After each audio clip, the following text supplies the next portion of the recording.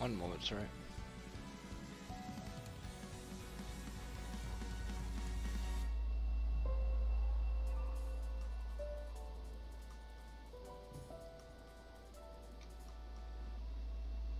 Alright, uh... Yeah. Let me just tweet out in this room.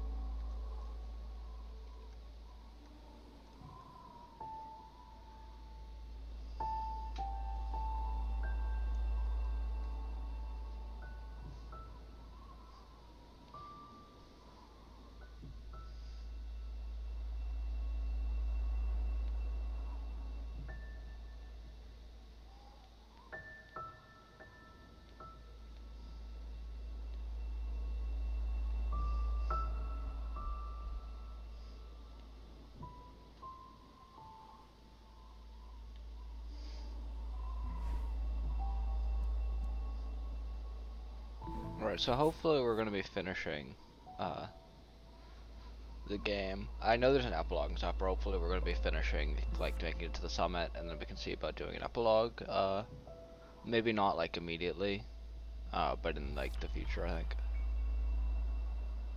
Because uh, I also really wanna uh, do a lot more of uh, Hollow Knight, which the other game that we've been doing is kind of a series. I've really been enjoying that, and want to continue that more. I was thinking of doing that tomorrow. That is my current idea. It's that, or seeing if I get Final Fantasy working and then streaming Final Fantasy. Uh, I think also might be nice. Uh, so gonna do one of the two. But I've been a bit uh, busy and stuff, so I haven't had a chance to like sort it out properly. Uh, with like uni and everything. Just keep me a bit distracted. Forgot we have double jump now. Been a while since I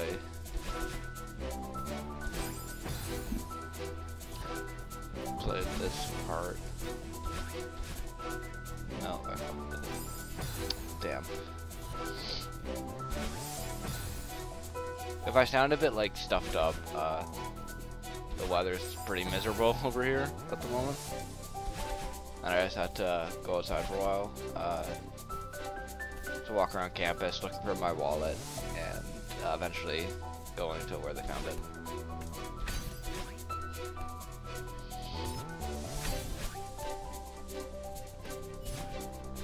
But yeah, hopefully, uh, depending on how long it takes to get to, we might have time to start, the, like to get to the end, might have time to start the epilogue.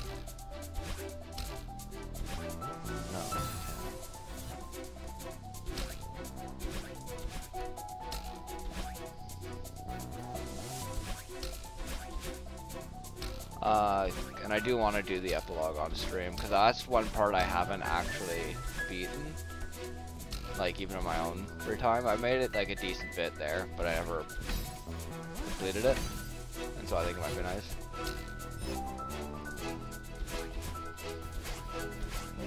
But I also want to kind of branch out with some other games and stuff that I'm looking at. I think I kind of want to do, like, Metroid or Castlevania. Uh, I know I already kind of have, like, a that style of game going with uh, Hollow Knight, but I've really been enjoying Hollow Knight stuff until I, I don't know, I think it might be nice to stream that. I don't, I think getting that strawberry is going to be pretty rough.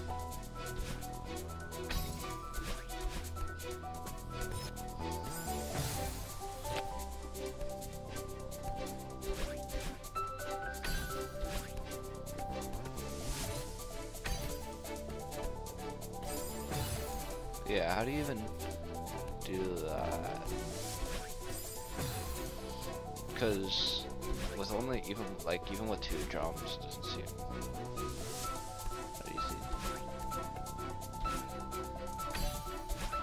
Like this stuff's fairly easy. You can get here, but to get that, you have to, I guess, jump like over here.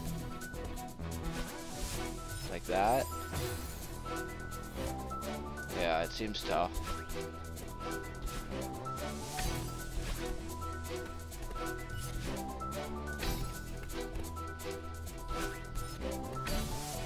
Yeah, so I'll leave that for like, in case we ever do uh, collect all the strawberries and stuff.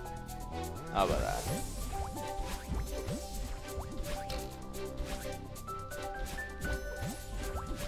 The music's a lot more fast-paced, I feel, than usually.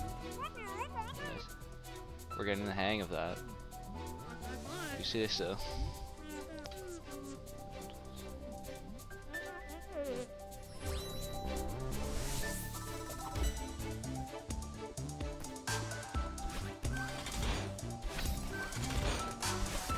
I do like how like these all the areas we're traveling through replicate kind of the zones that we were in already. It makes you really feel like you're actually traveling up it again after the fall.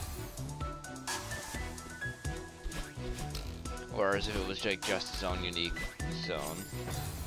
Oh, I could have had that. I keep forgetting we have the second dash.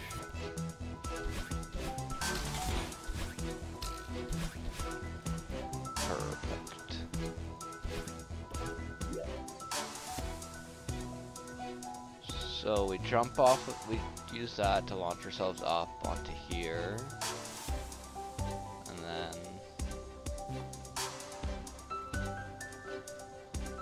Oh, is this literally just like the same thing but harder? Because this does seem really familiar. Oh yeah, so there's the two ways. There's the easy way up, the hard way up. Hard way, we have to grab. I'm not sure how they want us to get there, but give it a shot.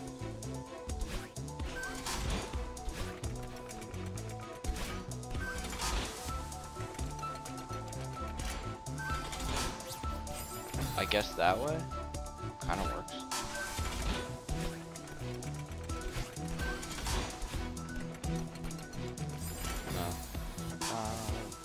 did that wrong. But yeah, so I'll either probably be streaming more Hollow Knight tomorrow or uh, Final Fantasy 14. Damn it. I feel like I... I... I think there's definitely a way to... Well, actually, no, you know what would be... might just be the easiest way? Is just holding on, letting it go back.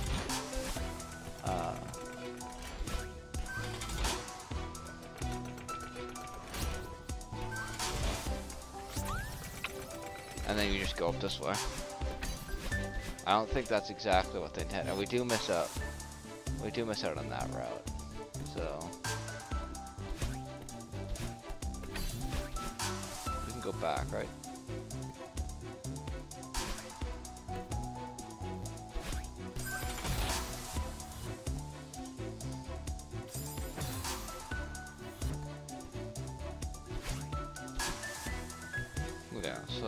Try let's try to get to that out there.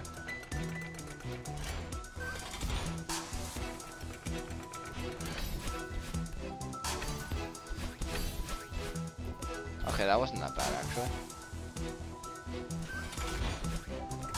And then for here Yeah, this really does seem like it's the other area, except that one seems like a little pain.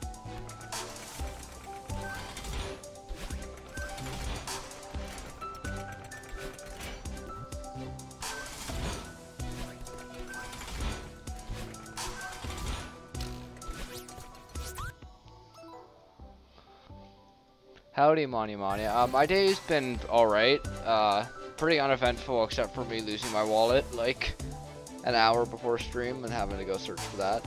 Uh, but overall, it's been pretty good. The weather's kind of like, eh. It was worse yesterday when it was raining. Uh, but today it's alright.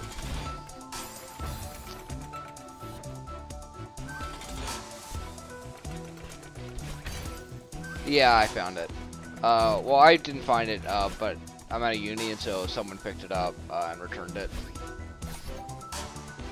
Uh, and so I just had to go uh, to like the desk. Uh, fortunately, I like they found it in time, because if I didn't get it today, I would have had to wait till Monday. Which, considering that has my yeah, replacing all the stuff is bad, and if they, like, if they'd found it after, like, later today or tomorrow, and brought it in, I might not have been able to get it, uh, because, uh, it, like, closed down, basically, uh, after tonight until Monday, and since that is my, uh, cards, and also, uh, my food, like, my student card for the cafeteria and stuff, uh, that would have kind of sucked.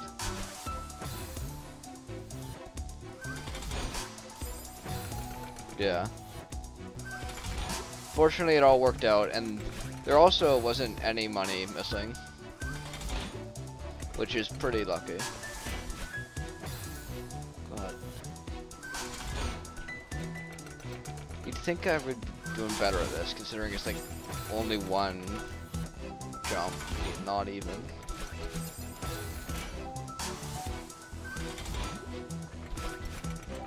Finally. Yeah. It's the second time that I've uh, lost my wallet. I'm not sure how I lost it this time.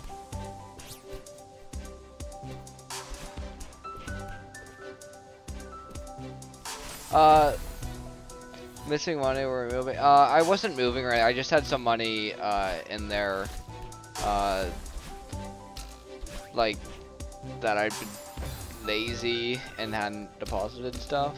Uh,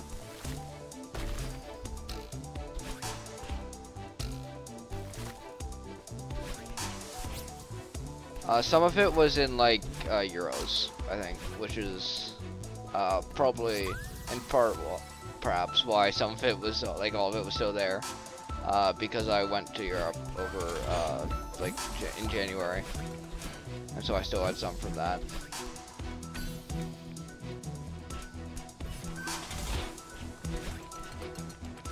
But yeah, it all worked out in the end, and uh, yeah, I'm pretty lucky. So, like, this is, like this, the second time. Uh, the first time was actually just in my residence building. I just left it on the laundry machine uh, for, like, a few hours. Uh, and then ended up just finding it when I went to, like, pick my laundry up. Uh, fortunately, it was still there, and uh, I'm frankly a bit surprised that nothing was taken either times, to be honest. But it's kind of weird that it, it ended up on like the side of the campus today is that I don't go to, so I'm guessing that uh, the person who found it was heading over there or something. Or, because I hadn't been near that part of campus for like, uh, for a while. I don't really go over there. And it's, since I definitely had it like an hour before it got reported, uh, then, um, yeah, I mean, I wasn't, like, near there, so I'm not sure how I got over there, but fortunately it worked out.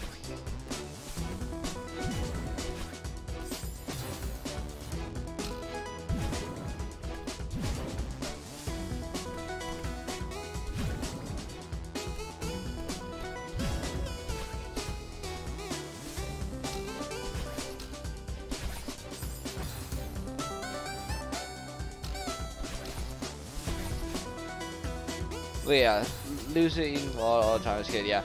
I'm alright with losing things. I can lose things like in a, like in my room or something. I lose things really like easily. And like I don't if you ask me where like anything is in there, I don't know where it is.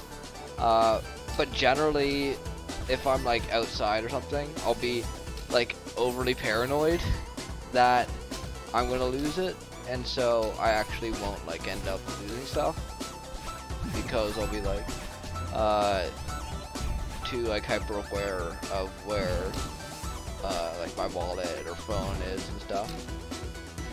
Though not in this case. So I'm not making a great case for myself.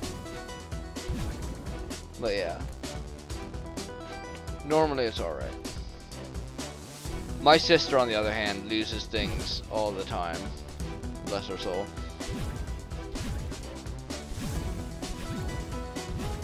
Which is normally fine, uh, except when she doesn't tell anyone. Uh, and then it can be a bit of, a bit of a problem.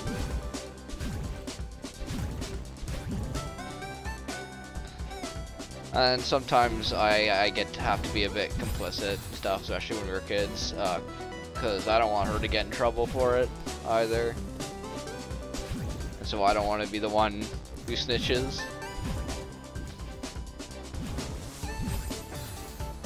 But yeah.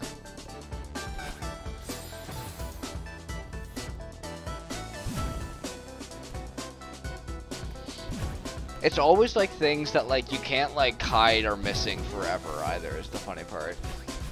Cause like a wall or something, especially when they're a kid, like uh, like she's not that much younger than me, but still like young enough, where like generally you can't really replace that by yourself.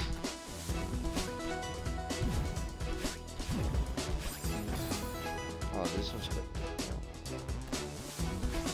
Uh, yeah. But she still tries to like keep it hidden and stuff. Though to be fair, I mean, I keep stuff hidden as well. Like, uh, when I like mess up and that kind of thing. So I can't blame her. Do it as do as I say, not as I do, you know. That was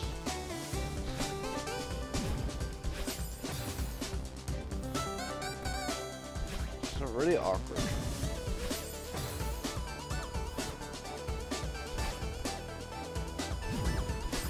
I really like the tonal shift of the music they got now. It feels very different than like the music at like the start.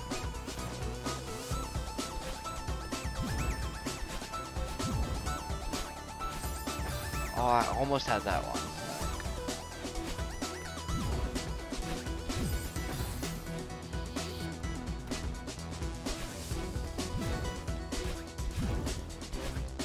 Yeah, I hope all your days are like everyone else's days going well.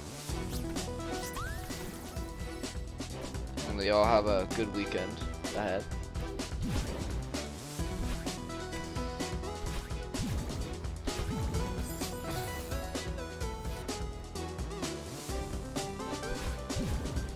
Yeah, I think I was mentioning that like a bit earlier at the start. Is I really like how uh, I really like how it this like the setting change it is not just like a new area, it's like a combination of the previous areas. Because it really makes you feel like it's like you're going up rather than just like you're having a kind you're on a new path. Like if you're on a new path or whatever was the plan, then it wouldn't uh, feel the same. It would just feel like just just another area rather than like achieving your goal and it's nice it feels like it makes it, it gives you a sense of like you're doing really well because you're going to like places that resemble uh, the areas that you already.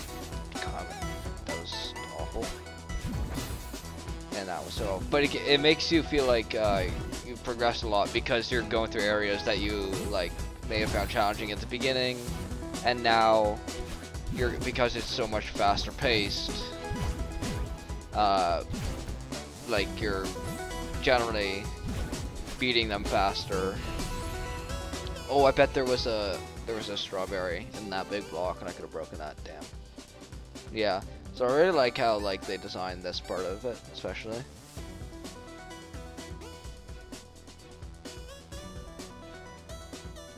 Yeah, it does a really good job encapsulating the themes and the gameplay I was on. I think the music as well. Like overall.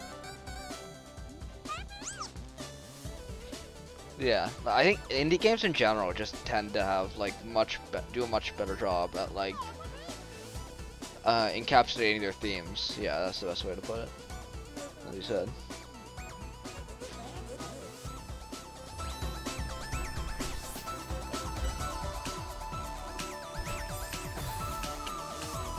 Oh, going for that strawberry for a attempt.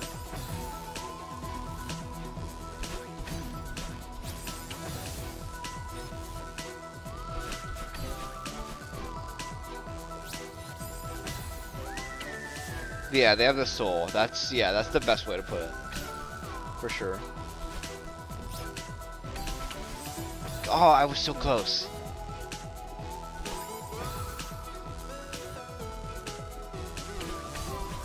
Yeah, like in AAA games these days, they just don't really. You'd think for the price tag that they're costing, they'd have a bit more soul to it, but doesn't seem to be the case.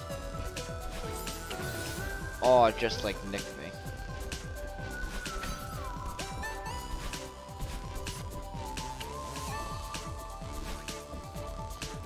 Like, there's still some, like, higher, like AAA, not higher end, but like larger studio games uh,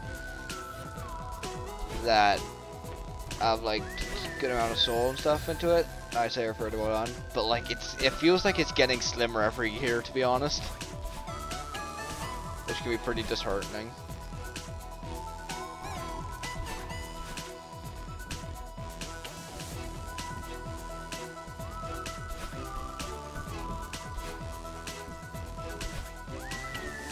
Especially because I feel like a lot of AAA games just have really good, like, they do a good job coming up with a concept for, like, oh, a game and, like, a, a world and stuff, and do a decent job world building, but they always, like, fail on the follow through, I guess, if that makes sense.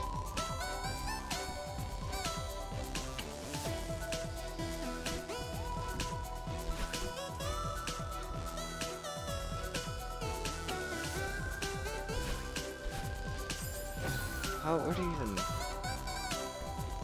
go from there?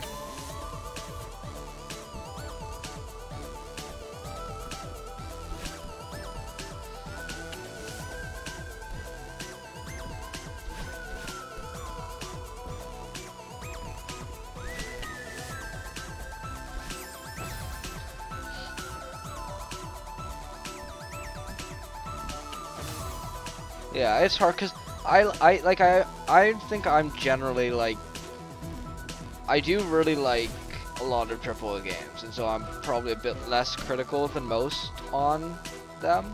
I like a lot of my favorite games are like AAA and stuff. I really like, like, Horizon Zero Dawn, uh, Titanfall 2, uh, like God of War and stuff. Uh, like the recent ones. I haven't had, unfortunately, had a chance to play like the older God of Wars and stuff, unfortunately. Uh, and so I, I generally play, and have played in the past when I was younger, more AAA stuff.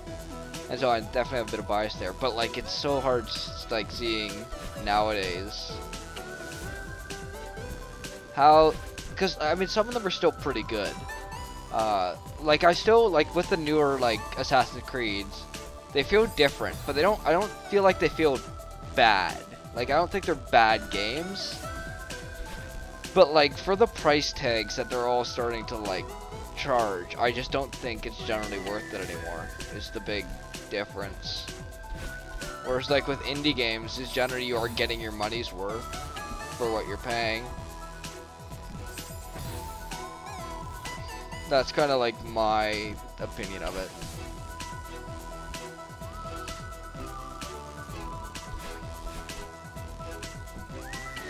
The some AAA games could charge me basically like anything, and I would buy it. Like Titan, if they released a Titanfall 3, like just complete, like I would buy that in a heartbeat. Like 100, 200, yeah, I'm I'm not gonna be happy about it, but I will definitely be buying it.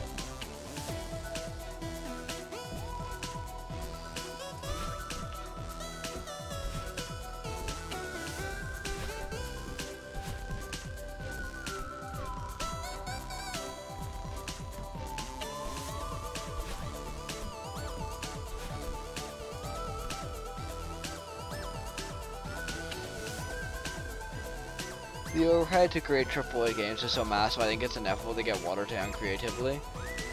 Yeah, I mean, personally, I don't find, like, I find, like, creatively, all of them do, like, a decent job. like Horizon Zero Dawn and stuff, I think creatively, like it's pretty good. Like the concept's pretty cool. I think it does a decent job portraying it. Like I mean, it's robot dinosaurs. You get to fight with a bow, and like the world's pretty good. Uh, the dialogue and stuff. I mean, it's not great. Uh, but overall, like I think, like creatively, it's pretty decent. But it's does like it's it's a bit pricey and stuff, and I think that's part of like the over like I think it's the overhead is just to make what is considered like good at this point is I think our I think it's part of the overhead is definitely a big issue. I think also standards for games have risen uh, a lot, which isn't like a bad thing. I mean, I like I'm not gonna complain about wanting better games. I think that's a reasonable thing to want. Uh, but I think it's definitely a tribute, like contributed to why we have uh, more why we're more critical of like newer games and stuff.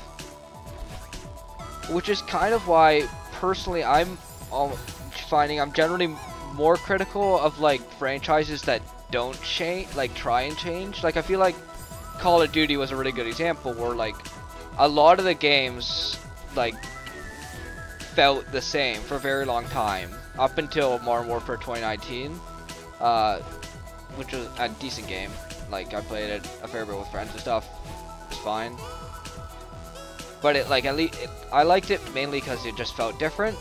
But now it seems like like Cold War was basically that again, and they're kind of falling into the old tricks of just repeat the game every couple years. I think like any franchise that does that kind of loses my respect.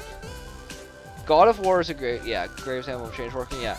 I haven't played, I can't, God of War is one where I can't really opine too much because I've only played 2018, but I really like that a lot. I wish it was, if they like got it onto PC or if I ever, I, I, I could figure out emulation, I'm just kind of lazy. Uh,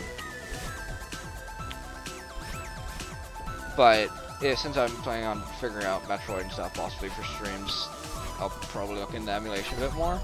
And so, who knows? Go to, I, but I definitely, uh, God of 2018 is, yeah, 2018 is on PC, which is why I played it. Uh, but I haven't played the other ones because they're not on there. Uh, so I can't really talk about the change, but it, like, it is, like, for a, like AAA game, it's just it seems it would like it's the new one seems really good. The old one seemed good as well. Uh, like I've seen playthroughs and stuff of them, and I really enjoyed 2018. I think it's like one of the top AAA games I've played. I would say. Uh, though I find it uh, just kind of hard to like categorize it. Like say, because there's like a fair few that I personally enjoy because I definitely, like I said, I have like a bit of a bias after playing so many like only AAA games really for such a long time. I have like an attachment to a lot of series, like Assassin's Creed and stuff. Is a really good example for me, where I really like Assassin's Creed, even though like I think the series as a whole is kind of mixed now. Uh, yeah. But like, I yeah. So God of War is really good, and I think that like, if it, I mean, it seems like it's a pretty substantial departure from the previous games, but it seems like it's a departure that's worked really well.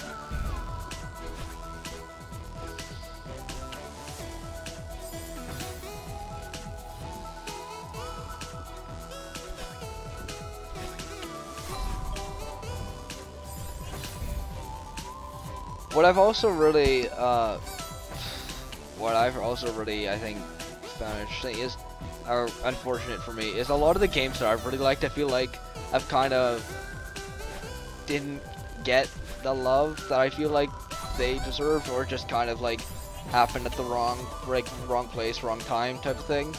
Titanfall, great example. I think it's like one of the best. Actually, no, it's definitely the best FPS game uh, I've ever played definitely my favorite, uh, probably my favorite game of all time. Uh, and I don't really like FPS that much. like I play like I played a fair bit COD and all that stuff as a kid. Uh, that's kind of just because I mean it was COD and like that was kind of the thing to do, and I like me and my dad would play it and stuff. But I don't really have like a strong attachment to the genre. Uh, but like that, F like Titanfall 2, uh, I think it was really good, uh, and it just kind of came out like wrong place, wrong time, and uh, didn't find like any success really because of that. Uh, and I think uh, Horizon Zero Dawn again came out like just at a bad time with really strong competition, and so I didn't really see as much success. And I think also I'm not sure because I didn't keep up with uh, Forbidden West as much uh, because it's not coming to PC for a while. Uh, so I didn't like. I only really cared that it existed and that it would eventually come to PC, hopefully. Uh, but I heard it also came out at not a great time. Which it was around Elden Ring, right? Which I would not want to be competing against Elden Ring in like as a video as like a triple A game. There's like no way you come out looking good on that. I feel like except God of War Ragnarok, I think. Yeah. Uh, so I feel like those are like two like franchises I feel like just didn't get their chance to shine. Makes me pretty sad. Though Apex Legends, I like I, I don't really like the battle royale genre at all, and I'm kind of sad that Apex gets like all the fame from the franchise, but it kind of does give me like a bit of hope that we will get it eventually another Titanfall 3 and I know that's just really just me coping really hard. But I just, I just gotta believe, uh, I just gotta believe that Apex is gonna allow us to get another Titanfall game.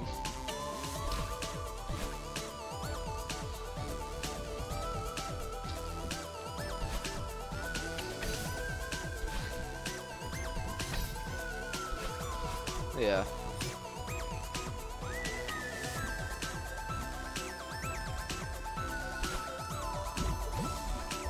Copium Fall 3. Yeah. It's I I gotta believe like I if we we like they gotta make like it's Apex is so successful, like they've gotta make like another like game in the franchise, right? Right? Like it's it's it's gotta happen eventually.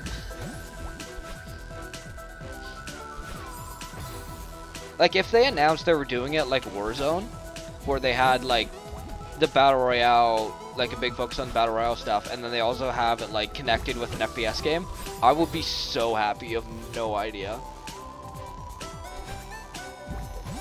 Like I would, God, I would. Oh, that would be amazing. Even though, like, again, I'm not like a big battle royale fan or anything, I probably wouldn't play that as much. I don't really play. Apex. I don't mind Apex out of all the battle royales, but I don't really play it. But if it meant, if if they told me like, if you play a thousand hours of Apex, and that means like Titanfall 3 comes out, I would be only playing Apex for like the next like year at least.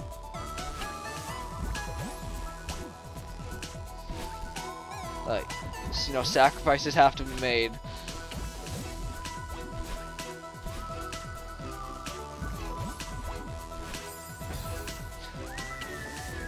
Though on the other hand, as much as I like, like, I think, like, there also is something to be said for not overdoing, like, a franchise and stuff. So beyond, like, Titanfall 3, like, a Titanfall, if you start getting into, like, Titanfall 4, whatever, potentially, like hypothetically, that I feel like you kind of hit the COD problem, where it's just too many games and you just can't make them high quality enough if you're doing them too fast. Uh, and that's like something I think like is inherited from like TV shows primarily, where like you get a bunch of seasons of a show and it keeps getting renewed because it has good ratings or whatever. But then you just can't keep up that success really forever. And I think you kind of bleed the goodwill of the franchise dry if you try and do that. That's why for like some of the series, like I think probably one of my favorite uh, shows, uh, Castlevania. Uh, really, really good show. Not a always a huge fan of Netflix, but they did damn well on that, I will say. And I'm super excited for the like other series that they're doing, Castlevania Nocturne. Uh, but that that Castlevania, the show had four seasons. I think that's a good amount. I think if they tried to like make more than four, if they tried to like expand it, which I guess they're kind of trying to do with the new series, but it's a bit different because like it's specifically set different character, different time period and stuff. I think that's like a much better way to continue it. Oh yeah, different studio did Castlevania. Netflix was just the producer. Yeah. I know like they didn't do like all the work and stuff. I just I can't remember specifically what studio did it, and so I'm kind of just referencing Netflix overall because they like help produce it and stuff. Uh, yeah. But I think like it's a good example of like they had like I'm I I would imagine it from what like watching and stuff. It seems like they had like an overall plan for the first two seasons. They saw it like, it saw success and stuff, and so they were able to like expand it for another two, and then they kind of ended it there in like a good place. Uh, where theoretically they probably could have stretched it out for longer uh, seasons if they wanted to. Uh, not to try, like I'm not trying to spoil anything to or anything. Uh, but like they kind of probably realized that if you do that, it's just not going to be as good. Because uh, I think like with a lot of shows and stuff, uh, like The Office, like Parks, a lot of like the sitcom shows suffer that problem. they just get too long. Uh, and like I, I find those funny, but like there's only so many episodes of like a comedy show you can do before the jokes are gonna get a bit stale and the comedy is just gonna start to go away.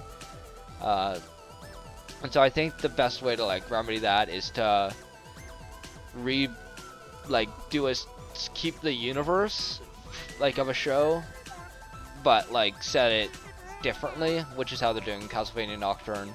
Uh, kind of how what Apex is, where it's a bit different because they uh, they kind of saw Titanfall wasn't really working, like it wasn't as successful, uh, and so they kind of pivoted to a different uh, genre of game and stuff.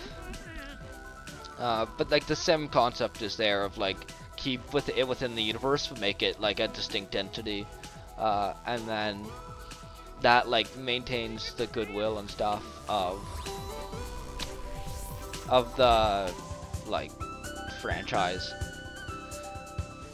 Though of course there are still problems with that of uh, taking a franchise and making like a distinct uh, thing out of it. Uh, and there are plenty examples of that, uh, particularly with like show adaptations and stuff.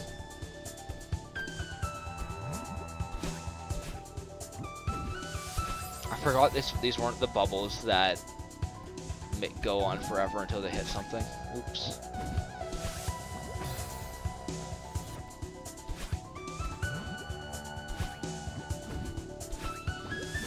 But yeah, obviously, like Velma and stuff, example of taking a franchise and like uh, rebooting it or putting it into a different like setting uh, while keeping like the overall world kind of. Though it's they didn't do like they obviously didn't really try to keep uh, the world the same in Velma, which is part of why I think it just sucks. Uh, yeah, I know. Hot take: streamer thinks Velma isn't like that great overall. That's an understatement of my opinion of it, but. Uh, there are like other examples. Uh, the Witcher stuff. First season I heard was pretty good, but like uh, I know Cavill uh, ended up leaving because he wasn't happy with the direction it's going. I feel like that's generally seems like a pretty good indicator because uh, he knows his stuff when it comes to like nerdy topics like this. So if he doesn't really approve, I kind of have like it. Like I mean, I would tend to like believe him. Does that make sense?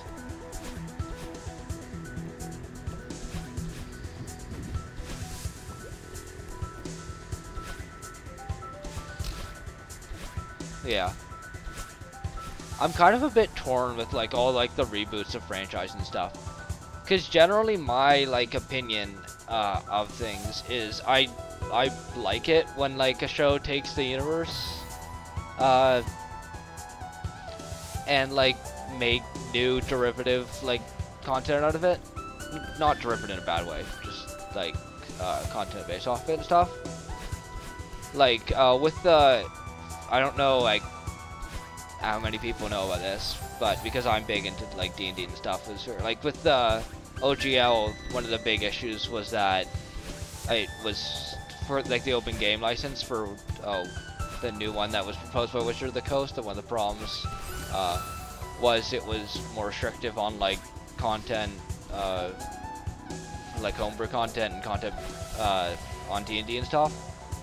Uh, which I would disagree with, not because I think, like, I understand where they're coming from at uh, Wizards. They, like, do, I understand they need, need to make money and want to make money and stuff, uh, and having the policy allowing, like, free reign for homebrew content and stuff is not making them money in the slightest. Uh, but I feel like there are better ways to do it, I think it's, like, partnering with, uh, like those homebrew stuff like they did uh, for those of you who are interested in D. This is only really relevant to you guys, so apologize if you're not. Uh, this is kind of just me rambling about special interests and going on tangents about it. But uh, Critical Role was really famous D&D uh, series. Uh, and they basically, for all intents and purposes, are like became partnered with uh, the creators of D&D, and were able to like uh, work with them and release like content based off of their show and everything. And I think that's like the perfect way for the creators of D&D to like be making money is working with uh, like that fan-made content basically, and then like negotiating uh, like equal agreements between uh, the creators of D&D and those fans.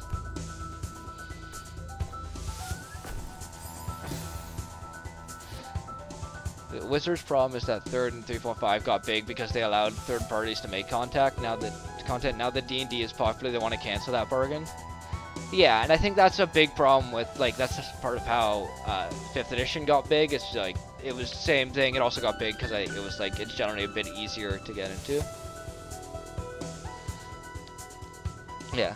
Uh, actually, I really want to talk about. It, so, mind if I'm just gonna pause and we just do a bit of just chatting on this? Because I mean, this is something I'm very. Uh, yeah, I mean, it means a lot to me because I'm like a massive player of D&D uh, and stuff, and so I feel like I have a lot to say, and I don't want to be trying to balance that and play.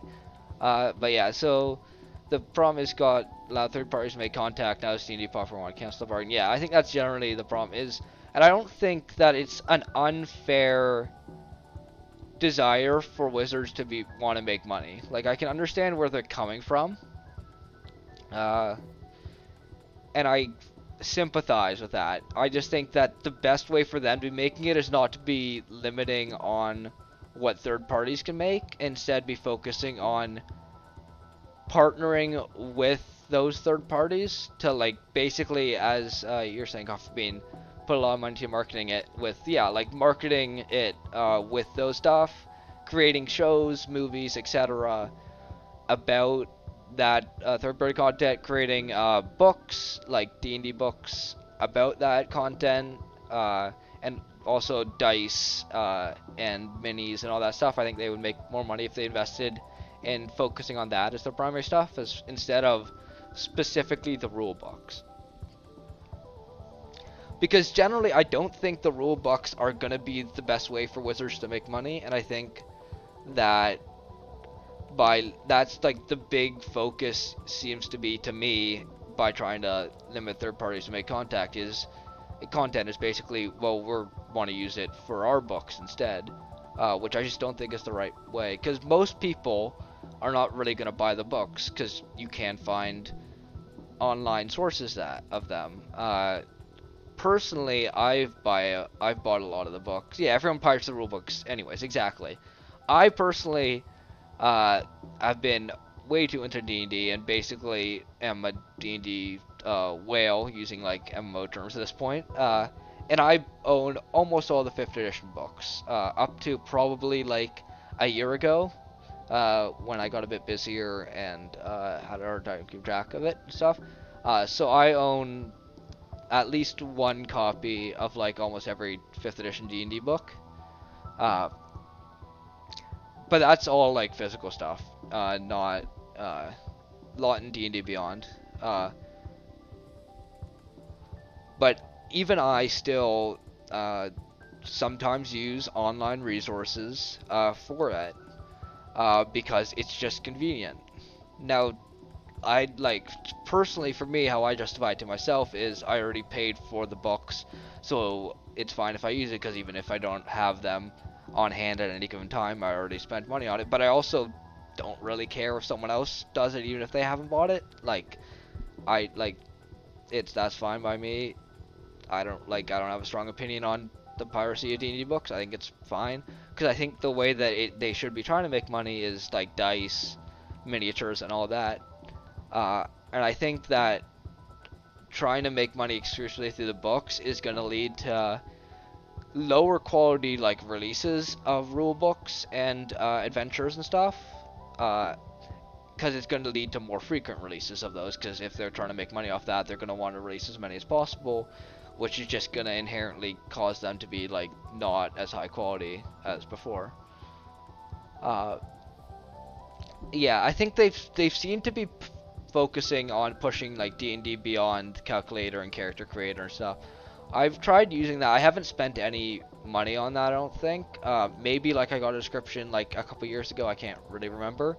Uh, but it to me it seems like even out of the options of character creators and calculators and maps and stuff, it doesn't seem that great. Like, it doesn't seem to have a lot besides it being, like, the official kind of online way to do it. Yeah, good website, but overhyped. That was basically my, like, experience with it. Uh, so I can't imagine, like, wailing a thousand. I think, I wish it would be so great uh, if they could make it so that I could put my books that I have bought in paper uh, onto there. That would be super convenient and great, uh, but no, sadly, I cannot, and that makes me very sad, because I've spent way too much on the books, and uh, so I can't really use them on D&D Beyond, so I don't really use D&D Beyond uh, part a lot because of that. Uh, instead, I'll just use like the online resources and then just an online mapping tool that's free. But yeah, I think yeah, so I think like dice and stuff is the really feels like the best way to sell it, or like shows and stuff. Like there was a Critical Role Vox Machina show on Netflix recently. There's the D&D movie coming up. Uh, so that's getting people uh, boycotting that uh, because of the open game license. I don't know if that's still being planned because D&D kind of walked back on that. Uh, but I'm not, so I'm not 100% sure whether they're still continuing. I imagine there's still a few people probably planning on continuing. Uh, for me, that kind of seemed a bit silly always, to be honest, because, like, firstly, my stance of wanting them to focus more on making their money through shows, dice, minis, uh, games, etc., rather than the books themselves. Uh, by boycotting, like, a movie, you're indicating that making more movies is not going to be that profitable because people don't really want to see it. And so, like, I'm not saying we need to like spend extra on the movie to like uh, get them to make more instead. I think that's also kind of silly because it, it's like it's just a difficult situation to be in. But I think overall boycotting it is not the best method, uh, in this specific case at least, because it just kind of shows to them like we spent all this money on a movie, didn't make that much. Uh, we're not going to do that again. What other options do we have to make money? Well, we still have these books that we're selling I guess we should just keep focusing on trying to make money on those. uh, which I don't think is the best for the, like the health and future of uh, D&D and homebrew stuff. Uh, yeah. That's like my overall. It sounds like you're in an abusive relationship with Hasbro. Yeah. Uh, yeah, it's yeah, pretty much. It's kind of how it is. And it's kind of also a bit awkward to me because I've personally had very positive experiences with D&D and with Wizards of the Coast specifically actually. Like uh, I have been fortunate enough to actually get to visit uh, the headquarters of D&D uh, a couple it was uh, 2018 I want to say. Uh, I can't remember the specific date. I was uh, at one of the PAX events and I basically just sent I was like I young teenager at the time so, like uh, I can't remember the exact age, uh, which probably helped uh, getting to go visit there. Basically, just wrote up an email like, "Hey, I'm a really big fan. Can I go visit your headquarters and stuff?" Uh, and they were like, uh, "Sure. Thanks for writing us. Sounds good." Uh, and they were all and like so. I have like personally very good experiences with Wizards of the Coast, the people that work there. Uh, and like I've not had a negative experience and stuff. And when visiting there, they're all great uh, and everything. But also, I really am starting to disagree with a lot of stuff they're doing. So it's kind of like it feels a bit like kind of it can be hard to like balance that if that makes sense, you know. because like while I generally have good experiences with the company overall, uh, uh, you know, other people definitely have not, and uh, yeah. Yeah, I've been like a big D&D 5e fanboy for like, uh, I want to say like, it's getting close to probably eight years now. I feel like, uh, like I said, I've almost, yeah, I mean, that's like, yeah, the visiting them actually was not something I talked uh, like too much outside of like my D&D circles, uh, cause you know, generally saying I'm such a big nerd that I went to the headquarters of this of this one of the biggest uh, RPG games. yeah, I had a fun time at Disney World, but it doesn't mean I have to like everything to do with Star Wars. Yeah, I think that's fair. Uh, it's just I want to see them succeed because I really like the game, but also I think that some of the decisions they're making are just worse without the game. Uh, yeah. I don't know how to say it without, like... That's the best way to say it. I think... Like, overall, just they've had, like, such, uh, a positive, like, influence on my life that it just it feels awkward being hypercritical of them. Uh, but there are, is stuff to be like critical about, I think. Uh, and I so I think it's good that with like the D and D uh, like the license uh, situation stuff, it was, I think it's very good that we actually like the community was able to push back and get them to run it back and stuff. As for how long that lasts, I don't know if it will last forever. Hopefully it will. Probably not. Uh, that's just kind of the way things go. But uh, even like if it's a temporary thing, it kind of shows that they are at least still listen, willing to listen to the community, uh, which is not something you can say about everything. Yeah, you can criticize company or person while being calm without going full anti. Yeah.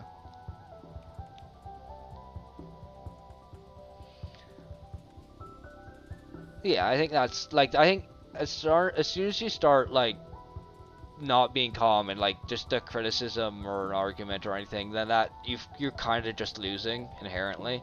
That's kind of like just there's no good way. It's it's very difficult, nigh impossible, to have like a good argument and make good like points in an argument if you aren't like calm and fairly collected. Uh, and even if you do make good points, they just aren't going to be like uh, displayed because people aren't gonna listen to it because you don't sound calm. You like it, the image and stuff. I hope I'm hoping I'm like at least explaining my stance decently because I know I personally like public speaking and stuff is not my strong suit uh, at all. In fact, generally in school and stuff, I would do literally like everything possible to uh, everything possible to like avoid those types of speeches and stuff. I had a teacher tabletop RPG group where GM was a huge D&D anti, made some good points as friend, but got tiresome about he, how he would nag every time Hasbro did something. Yeah, I think I was probably definitely on the I would say, yeah not I was probably definitely on the opposite end of like being too much of a D&D fan initially. Uh, like, uh, and as I got more as I got older, just a bit more like aware of things and got a better understanding of uh, things in general, D and D specifically, uh, and that kind of thing. I think I got uh, kind of uh, mellowed out, so to speak. Uh, but I think it like the yeah. I think I think for like I I don't think I could be like a bit anti of like a video game stuff or like just a game in general. I feel like it's because like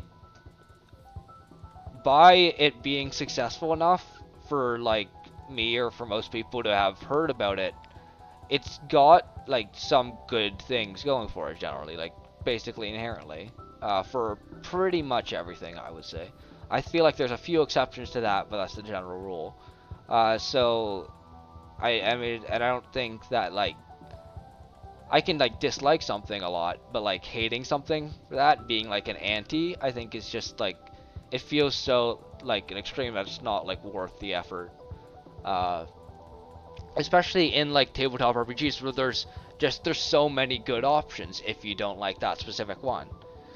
Like I've mainly focused with D&D, particularly 5e, uh, but like there are so many there's very different games within the different editions of D&D. I have played a bit of 3.5.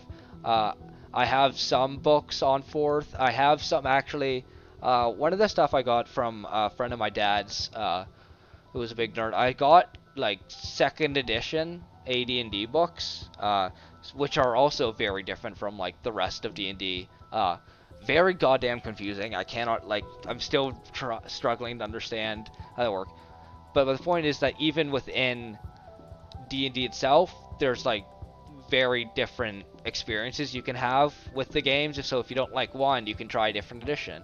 And if you don't like any of them, you can try like a different RPG. Call of Cthulhu I've heard is really good. I always wanted to try that. Uh, I don't remember the specific like name for the system, but there's the ones with the d6s. Uh, they have like, they have like uh, three or four like attributes. Uh, generally, it's like uh, I think like plus one, plus you get like plus one, plus zero, minus one, like depending on like that kind of thing. Uh, I know they use it for uh, Night Witches, which is a one based off of the female Soviet pilots in World War II. I only know that one because uh, I played that at a summer camp when I was a kid, which was really fun, and I've been dying to play that again. Uh, one day, one day. Oh yeah, and there's like I think there's a Star Wars one too. Uh, there's the superhero one. I can't remember the name off the top of my head, but that one seems really interesting. Uh, there's just so many great options that like being an anti of a specific one just seems like such a wasted effort. And it's the same thing with video games, really. Like there's so many good video games that like being basing like a substantial portion of what you're talking about or your experience in the genre of video games or tabletop game stuff on like just hating one specific game just seems like such a waste when you could just like make it like you could just enjoy your time with a different one like for any of my ho- if I were to like I guess these are all like hobbies to me and stuff. So obviously, uh, and if I were to like, I, I I have a hobby so that I can enjoy it. Like I don't have it so that I can like hate a specific part of it. Like I just I it's really hard for me to like fathom that. Uh, and maybe that's just because like that's how like special interest and stuff for me works, uh, like in hyperfixations and that kind of thing.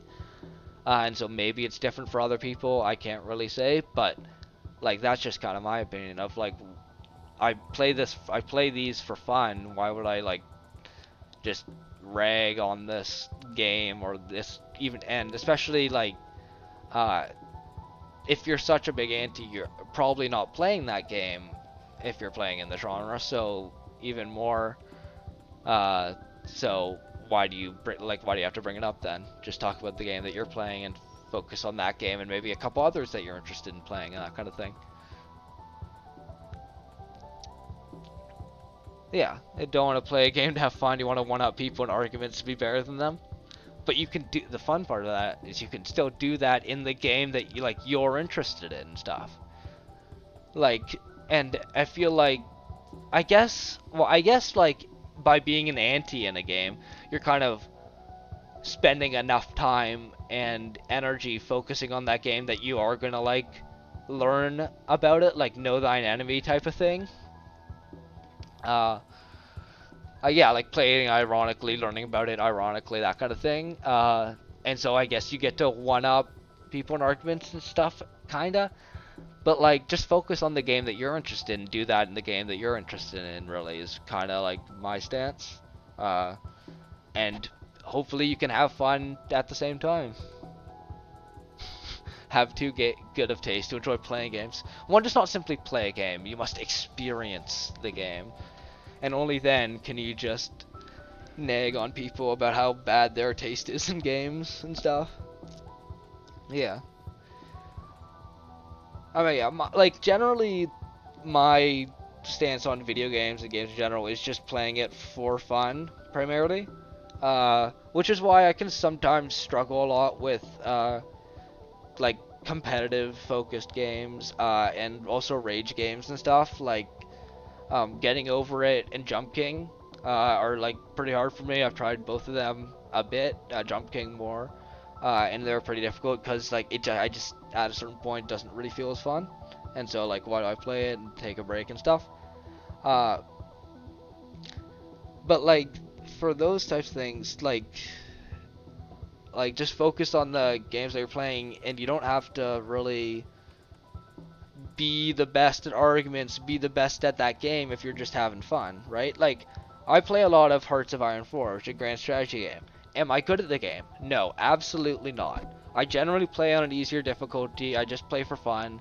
I like seeing what happens in the world if I just play as like a smaller country like Albania, Romania or something, and just kind of just chill in the game and see what happens. It's probably, it's not the correct way to play. It's not the best way to play, but it's like it's just a fun way to play. And I think that if you're playing in such a way as to have fun, that's kind of the overall best thing. Uh, which is why, like, and even in like competitive, more competitive games and stuff, I think it is still possible to do. And I think it is, in my experience, still the best way to play those type of games, like FPS games, like Call of Duty uh, is a really example because I played that a fair bit, like I mentioned, uh, with family, with friends and stuff.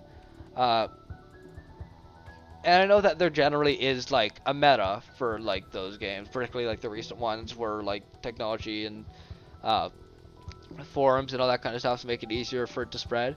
But personally, I've had the most fun enjoyment when I'm just making like a fun like challenge to myself like I'm to use the crossbow I'm to use the knife only basically even though I'm not that great with either of them and it's to be like a challenge or whatever.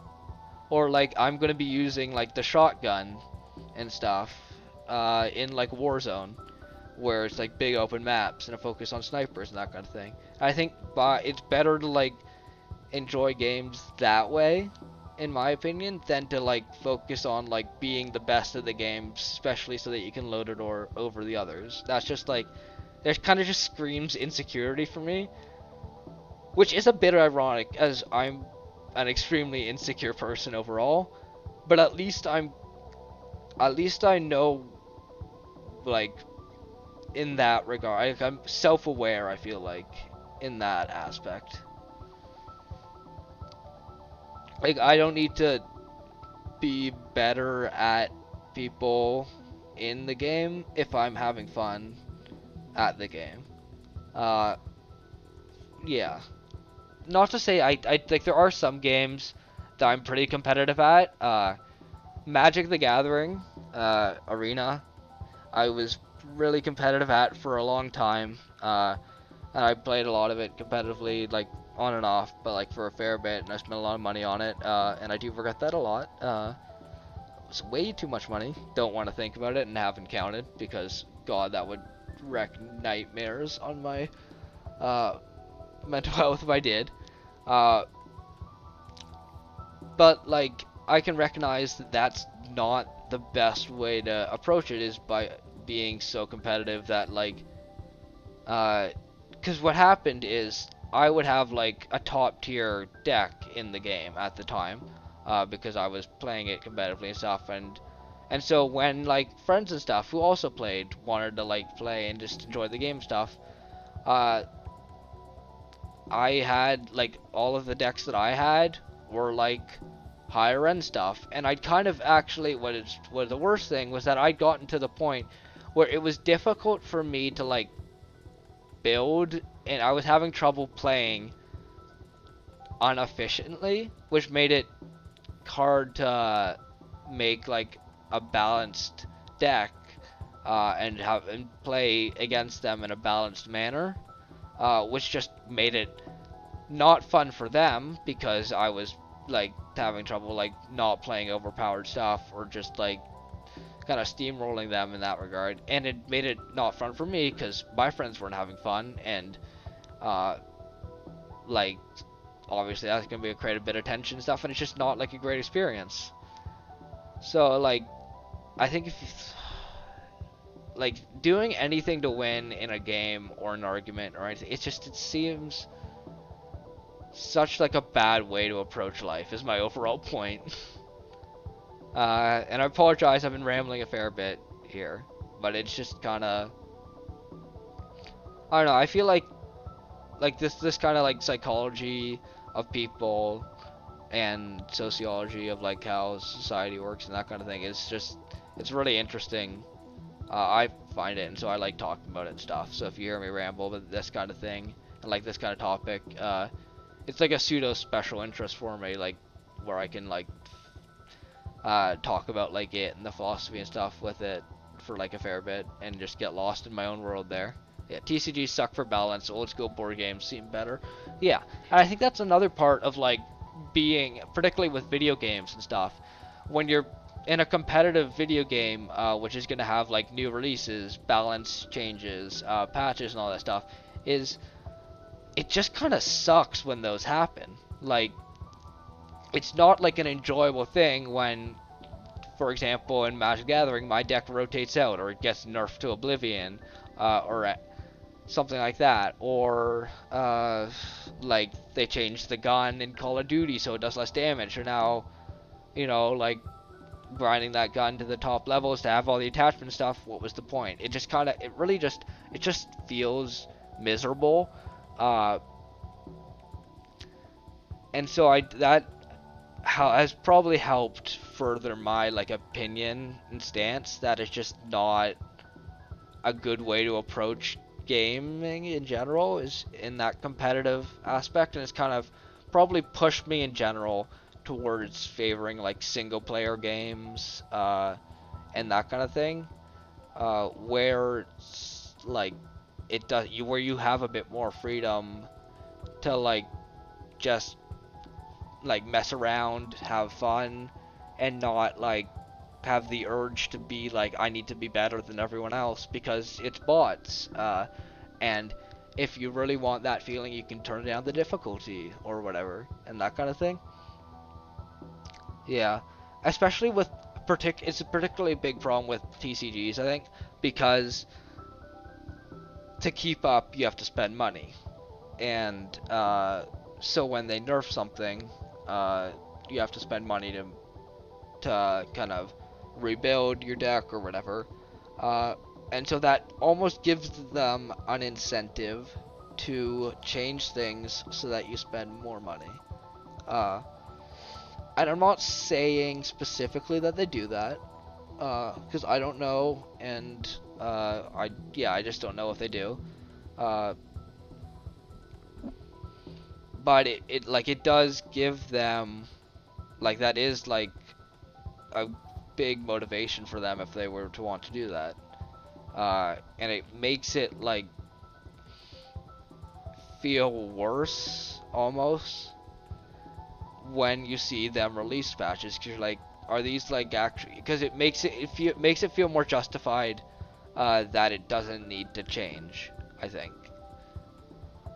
Because it's like well they're just doing this for the money because I'm gonna have to buy more stuff later because of this where it's like it, it's fine. Uh yeah.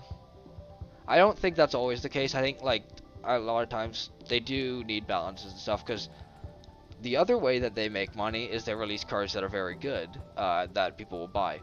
And so you know like they're also incentivized to just power creep the game which is also not healthy for the game, but uh, it's just kind of one of those things, I guess, where you can't do anything about it because that's what it takes to keep the game alive. But that's overall kind of what's contributed to me having like on and off periods of playing like games like Magic the Gathering and, like basically any game that I fi I find myself becoming more competitive and stuff in, I generally end up taking like a break of at least a few months and stuff between uh, playing it because I just don't find it's for the best and it kind of just it's I it ends up not being fun. I don't know how we got from D&D to like uh, TCGs and stuff uh, and like competitiveness in games and that kind of thing but yeah.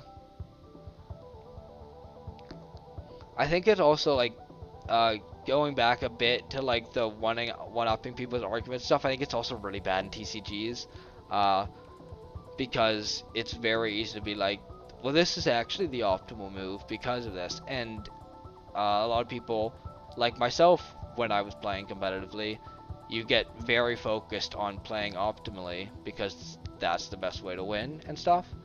Uh, and so it can lead to wanting to, sometimes with the intent of just helping out other players by telling them how to play Optimate, but it also generally does not come off as that. Uh, and so it, it kind of makes a more toxic environment and community, I feel like.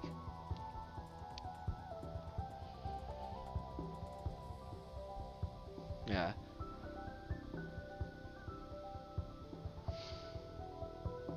I think I've kind of said my piece on this, and uh, I should continue on with this, as I do want to try and finish it uh, before I end stream.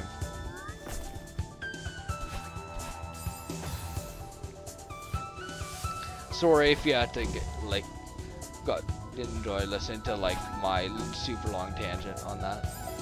How do we? Okay, so you have to go down here. Oh, then go. Oh, that's gonna be annoying.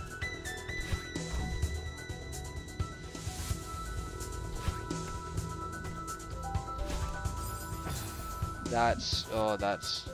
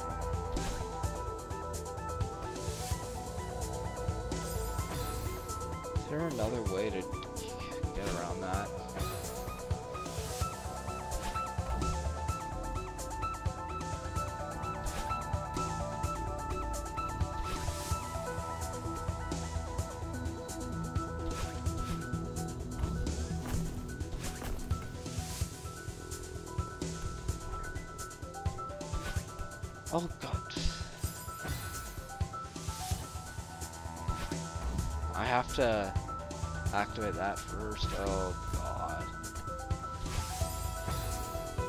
This really is gonna be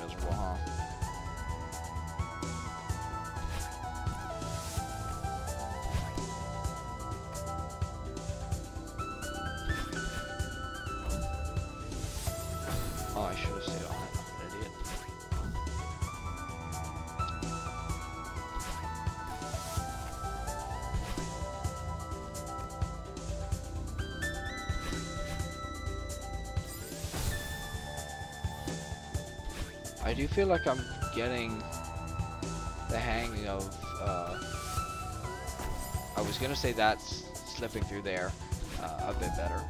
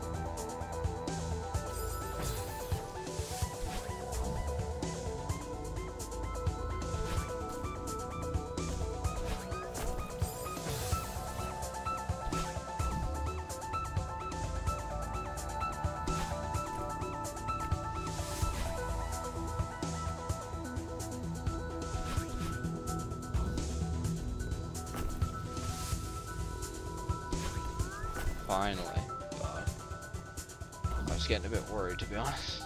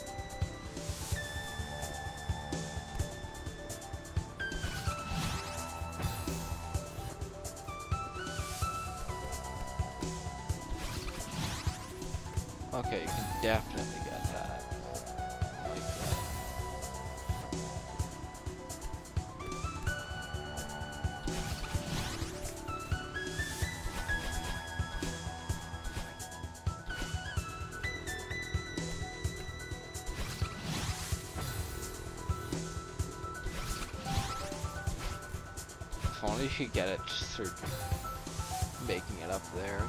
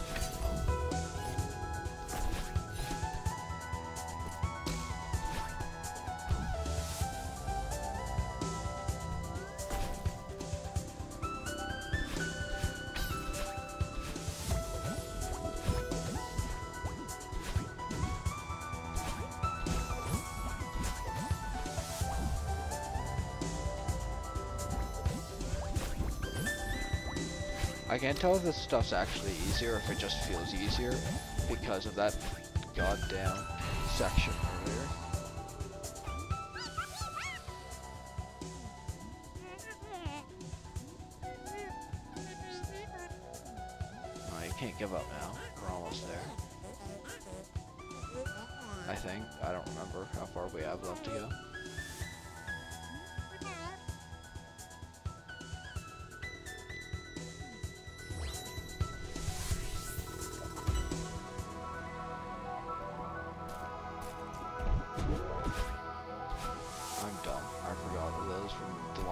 actually do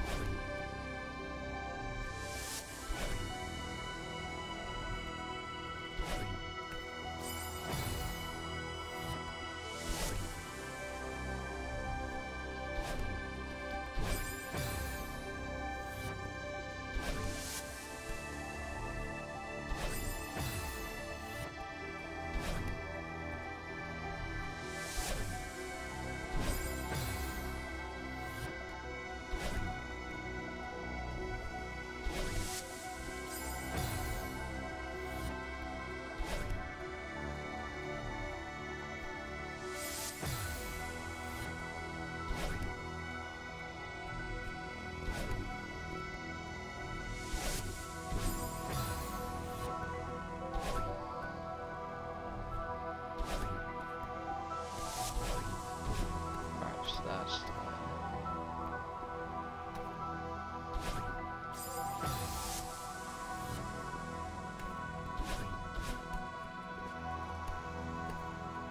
That was easy.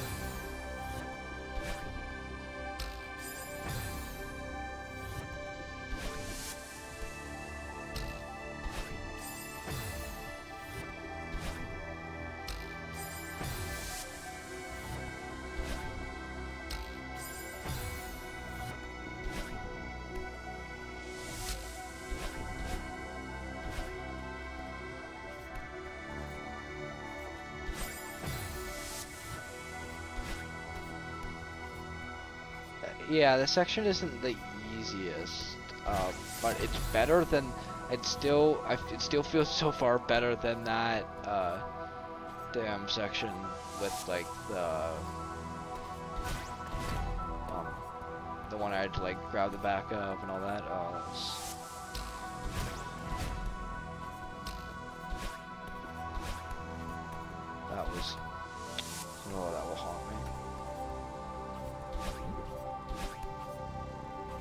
Probably messed up there by having two dashes. Yeah, you can do that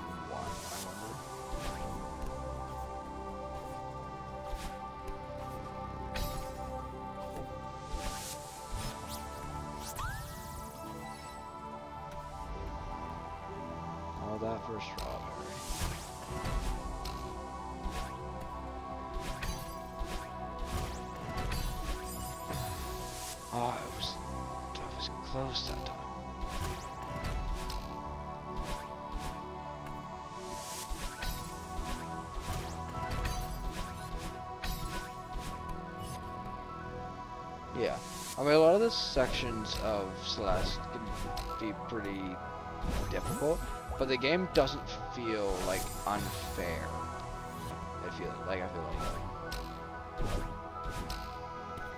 like it's yeah, because generally you know what you need to do to like beat the level or like the section. Which I think is important for story game.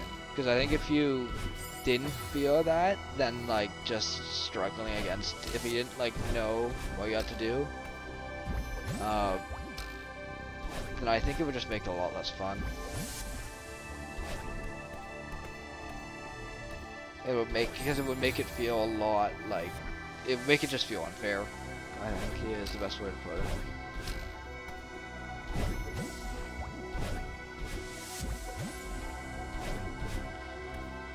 I mean, the other important thing is it doesn't feel like it like punishes you arbitrarily for like messing out. Which is something that I've kind of found uh, with like Jump King stuff in that kind of game. Which sometimes it feels like, oh, I was like, that. It's uh, like it's it sometimes feels like uh, it just like slipped and stuff, uh, and that kind of thing. And like, oh, now I'm just there's like a slight mess up, and then I'm getting all the way back to the beginning. Uh, where in here, because you only just go back to the like section, it doesn't feel nearly as punishing, which makes it a lot like more chill and a lot funner, I think, or more fun.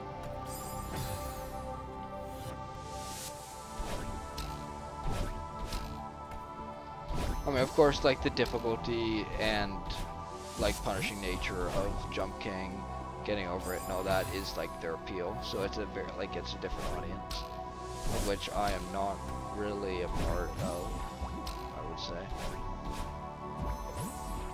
it's like si similar audience to like the Souls people, I think. Uh, which I've played a bit of Souls games and stuff. Uh, I don't mind them, but they're not for me uh, and stuff. But like I, I, at some point eventually, uh, might fun to do like Elden Ring on stream, or like Dark Souls on stream, Bloodborne, like that. Uh, I part of the problem is I don't really have uh, a lot of the Souls games. Like I mainly the one like the of the like Dark Souls, uh, like one and stuff. I play that out like at like a friend's. Uh, I do have Elden Ring and uh, Sekiro, uh, but I think that's actually it. And so I'd have to like buy them for streaming them, and uh, they're a bit expensive. Uh, and so I'd rather get stuff to improve. Uh, well, I, I have to obviously have money and stuff for like university things and that kind of thing, uh, and like university life, uh, but also improving the stream uh, quality and like audio quality and all that kind of stuff. uh, is something I want to be working on.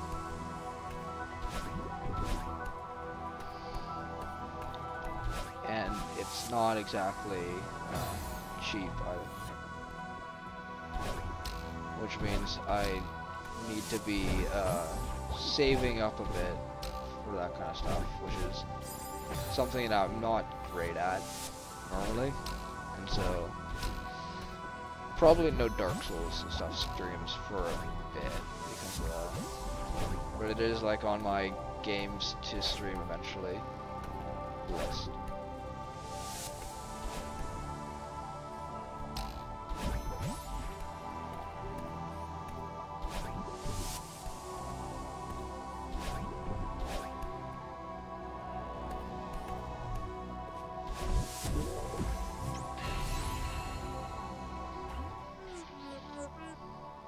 Yeah, cause like, like I want to get a mic, uh, like a proper good mic first is my big thing, uh, and that kind of stuff, uh, like set up beforehand. Uh, and then uh, like maybe get just like a better like uh, like Commissioner's PNG model. I have one that's like it's fairly cheap uh, that I have in mind, but I really liked it. Uh, but I still gotta save up and stuff.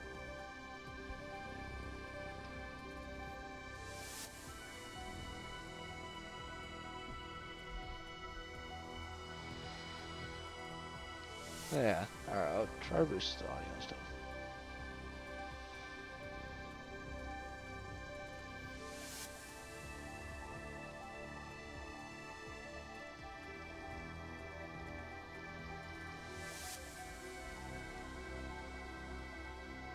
See. Uh, some of that I'll have to try to do, like, think off stream a, a bit, I guess. From part of the problem is I don't really know my shit when it comes to, like, a lot of tech stuff, uh, and like computer stuff, which makes it a bit more difficult, uh, overall. Uh, but, uh, so like a lot of like with, uh, setting up OBS and all that stuff is like first hand, first time experience uh, with some of that stuff. Uh, which is why like there's a lot of scuff generally. Uh, but I do like there are like I think like my mic's fine I think, but I do like just because of the kind of the quality of stuff I want to have, I want it to be a bit better. Uh, and that kind of thing uh, overall. Yeah. It's like serviceable, I feel like, and uh, for like other stuff, it works fine. But it's just like, you know, there's always like the want to improve and that kind of thing.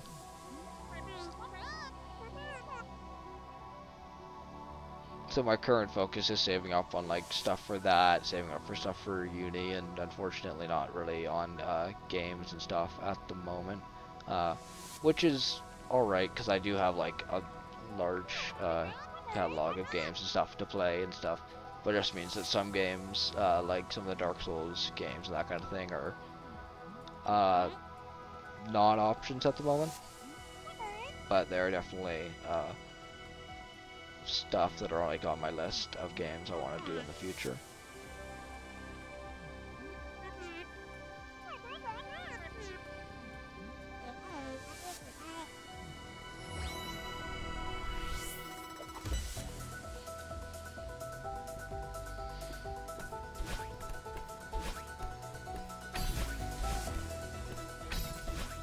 So many th- oh yeah, always so many things to buy.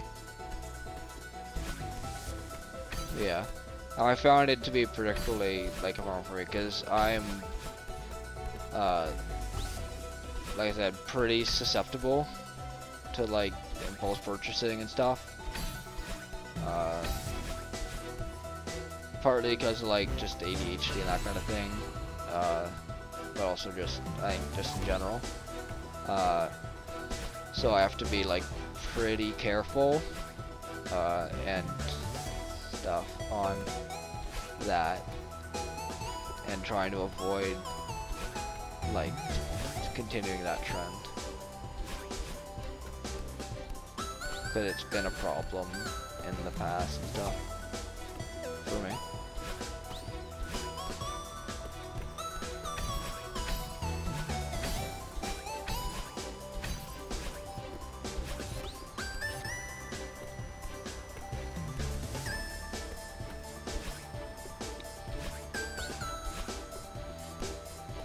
On the other hand, I don't really eat that much, so uh, expenses for food, I think, are generally pretty low for me, and that kind of thing.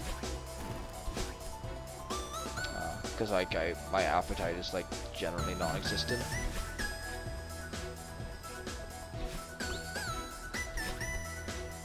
Which I'm choosing to see as a benefit and not indicative of uh, other issues.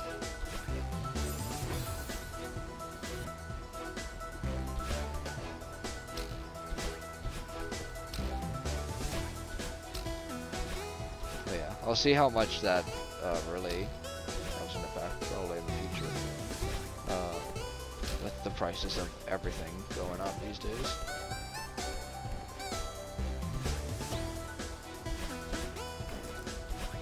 But yeah, it's very tempting for like a lot of games. Like, there's the new uh, The Last of Us is coming out to PC, and that's very tempting at the moment.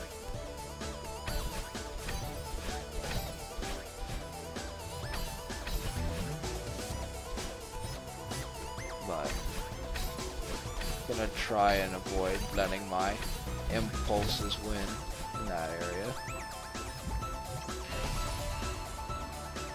Because, like, my family and stuff is generally, like, fairly well off, where it's not, like, a big concern, like, I'm not in, like, dire financial situations or anything, uh, and I'm, like, lived a very fortunate life.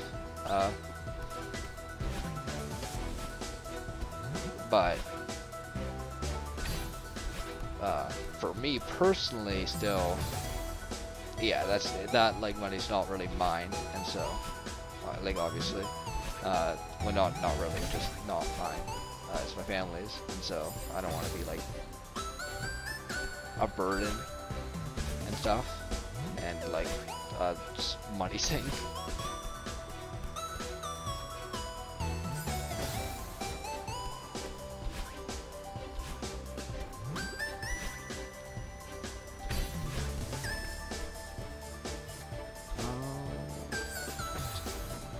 I supposed to keep two dashes for that? No, it was only one, right? I don't think I can do it with two. Oh. Oh, actually, no, I had two there. So you can't do it. get two.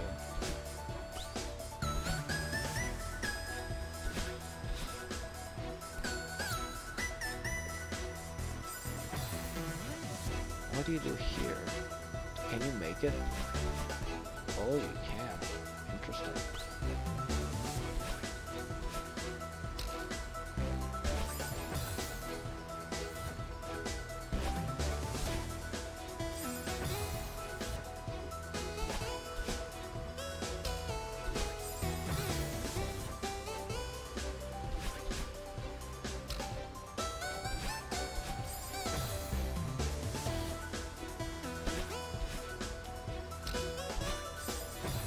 basically where I'm at is I'm not buying anything except for the essentials for uh, at least like another month probably. Uh, and then I'm gonna see about like where I'm at there and get some stuff probably for uh, improving like stream quality and that kind of thing. Uh, and then look into like, games and stuff after that. Because I do, like, enjoy this. Uh, and I find it's generally a good opportunity for me to get out of my comfort zone with, like, chatting to people and stuff, because I'm not the most social person, uh, normally. Uh, even online. Though it's been improving. So, like, stuff like this I find is a nice way to at least attempt it.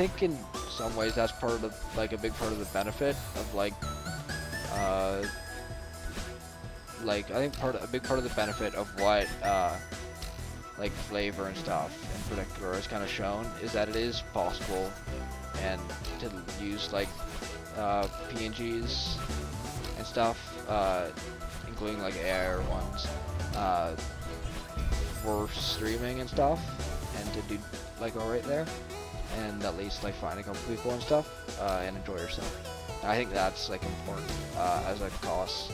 Uh, like it allow having that uh, like ease of access, I guess. Uh, I'm not yeah accessibility yeah uh, for people. I think is a really good thing in general because it you know allows people who are not as comfortable like showing their face and stuff uh, in particular uh, who may not have like a camera for whatever reason or like uh, that kind of thing uh, to still have access to like playing games on the internet uh, on a stream and stuff uh, which they might not otherwise have as decent access to or like as appropriate a medium.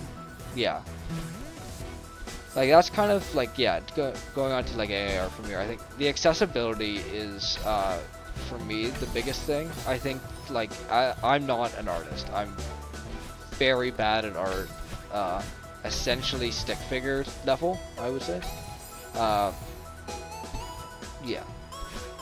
And I've kind of like accepted that I probably could try to get better and stuff uh, obviously. Like a lot of it is just practice and that kind of thing. Uh, but overall, I think the big thing about AI is, I mean, without it, I really just wouldn't be doing this, probably. Uh, because even just for, like, thumbnails and stuff for this, uh, makes it so much easier. Uh, and also, like, it just helps uh, visualize ideas and stuff uh, a lot easier for those of us who uh, either are not like artistically uh, like talented, uh, can't afford to like commission something and uh, that kind of thing. So I think by uh, being so accessible and easy to use, I think that's the big benefit. Uh, but I do think that there is like obviously a downside stuff. Like I'm personally friends with a lot of like artists and stuff.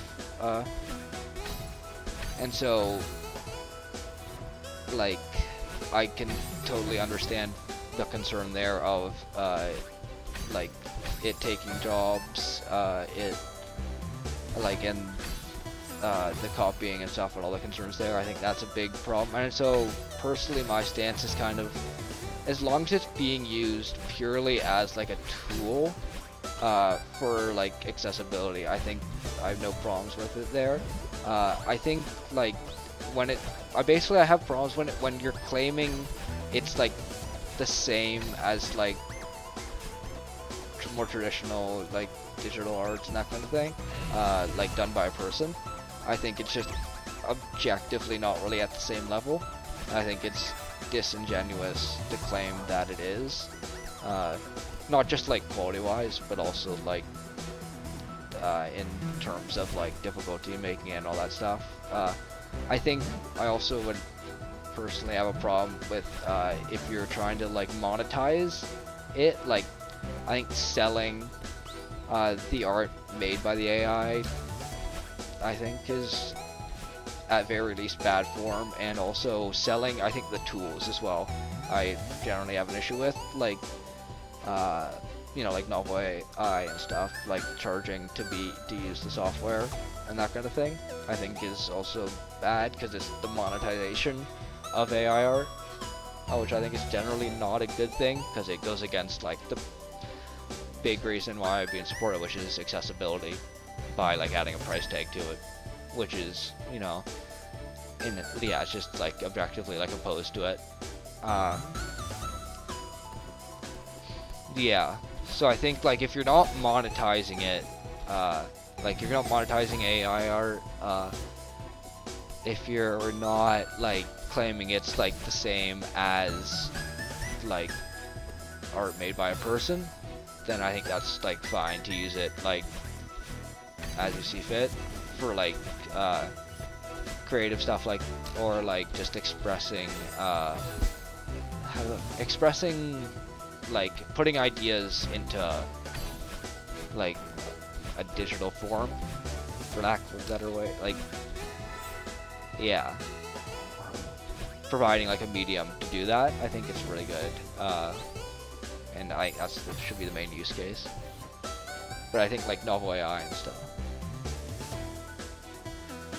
Yeah, I think people get Streamlabs donations using AI art characters, technically monetization stuff, but I think uh, I think it is a bit different with uh, like streamers using AI stuff because I, I I think a decent amount of, uh, or at least I like to think a decent amount of uh, streamer success and stuff is uh, viewers and stuff appreciating like the personality and the streamer themselves, and it, that's kind of what they're selling uh, is not just the model or just not just the art uh, like in front, but also the person behind it and the personality and uh, like I vibe and stuff of the person. Uh, so for like stream donations and stuff, I personally I don't have a problem with that. Uh, but it is it's a bit of a gray area. Uh, yeah, so like I don't like uh, yeah, so like if a streamer like if I were to be getting donation stuff, I mean obviously there's bit of bias there and stuff because of me. I don't think that's that because I like to think that it's uh, because not because of the art itself, uh, but selling the art is super shifty, and I think the big thing personally for me is monetizing the process is really shifty because like I say it goes against the accessibility, which is the big benefit of uh, AI art.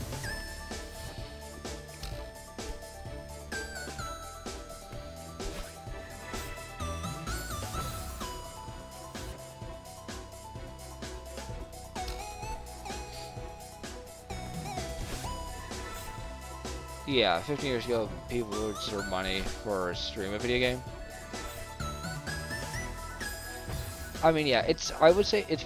It does feel a bit different uh, in that case because, uh, like, recording video games, uh, streaming video games and stuff. Uh, you, or let's say recordings, uh, because there's like not really interaction with uh, like a chat or anything in that. but even for that, there's like a level of time uh, and you know like skill and effort put into that which I think is different than putting prompts and stuff into like an AI uh, to do it. And so I think that's kind of the the crux of it for me uh, is like it's not really like a it's not a substantial commitment of effort to do it, to do this, uh, like create AI art. Uh, and so like, it's not, it should not be worth money. Whereas like, recording a video and stuff, even if it's just like unedited gameplay, uh, that is still like you're taking the time and energy and effort to play the game. And I think that is worth uh, at least giving them the opportunity to make money if people enjoy watching the gameplay. Whereas, like, yeah, yeah, putting in prompts and stuff, it really just does not take a lot of time. Uh, like as I know firsthand from doing it a fair bit. Uh, and it doesn't seem like a uh, the effort put into doing it should really be worth paying people. Uh, yeah.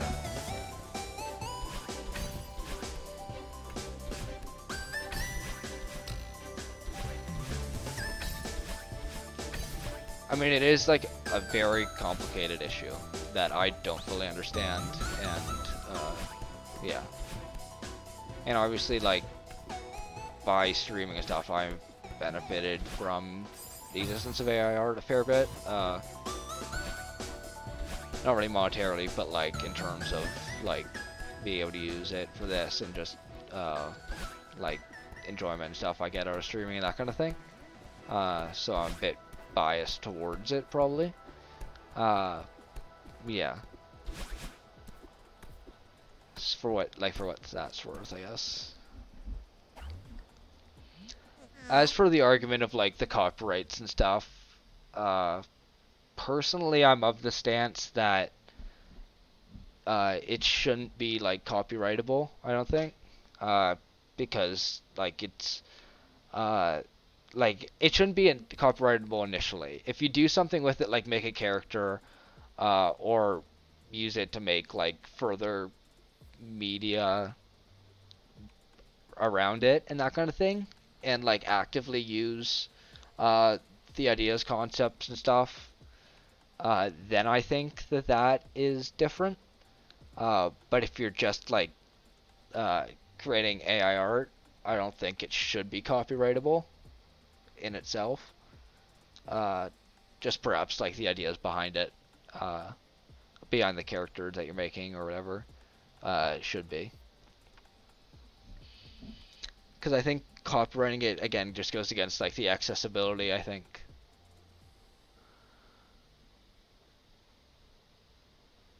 Yeah, it takes more effort to make a game, less effort to play a game. At the end of the day, if someone sells AI art, it's labeled as such, and someone wants to buy it, it's hard to stop. Oh, that's another thing. If uh, labeling it, I think uh, labeling it, I think is also like I I would say that would lead to me not minding nearly as much uh, if it's properly labeled and stuff. Uh, because if you know what you're getting into and stuff, uh, that's a bit different. I won't have like a ton of respect for that. I wouldn't. I'm not sure whether I could consider the person who's selling art like an artist or anything. If they're an art dealer, perhaps, as like a label and stuff. Uh, yeah. Uh, yeah, so I don't really have as much of a problem with like selling it in that regard if you're like properly labeling it. It's more like if you're passing it off as proper art and that kind of thing. Uh, AR programs could sell business license programs like other apps do. Like you can only use this program for your business if you buy the business version. A lot of companies already do that. Yeah, I mean, I think the thing I personally am against uh, just the monetization of the programs most of all. Like I really, that's my stance is that they shouldn't be monetized because like of accessibility concerns, and I think it's that's not the worst idea, I suppose, because uh, if provided you're still giving access uh, to people to use it on like uh, just a personal uh, level and not like a commercial level, then I guess that's fine. Uh, but I still feel like uh, it's I mean that, that's complicated uh, whether like business licenses and stuff. Because uh, then like you get to a certain point of at what point is it commercial use and what point isn't it and all that uh, and that kind of thing. Yeah a tiering system would be good. But I, I think as long as there is like as long as the bottom tier is not losing out on feature, I think is my big thing. If you're like you have the same access to the system and the program and the code and stuff and like you can make the same you can theoretically make the same art that the companies are doing with what you're getting as the free uh, system then I don't have a problem with it. If they're charging company, if you just can't use the what you make uh, commercially without getting like a cease and desist or a lawsuit or s- something like that, uh, then that's fine to me. But it, where I take issue is with like how like NovelAI and stuff does it, where uh, to get like higher quality images, more images, and all that kind of stuff. Uh, then I think that's like a problem if you're like having to pay more to just get better quality out of the program. Then I think that's where it becomes like an issue to me. Uh, but otherwise, I think like their business license that generally seems like a pretty good idea. Uh, for like how to get a torque. work. Uh, because again, like I understand that the people behind the programs and stuff need to make money, uh, and I'm you know somewhat sympathetic to that. As long as they're like doing that in a way that is not impede the accessibility to like the everyday user who's not using it for like a business or for commercial use, then I don't have a problem with them like getting money from sending it to businesses as long as you're getting the same product, just different like license agreements about it.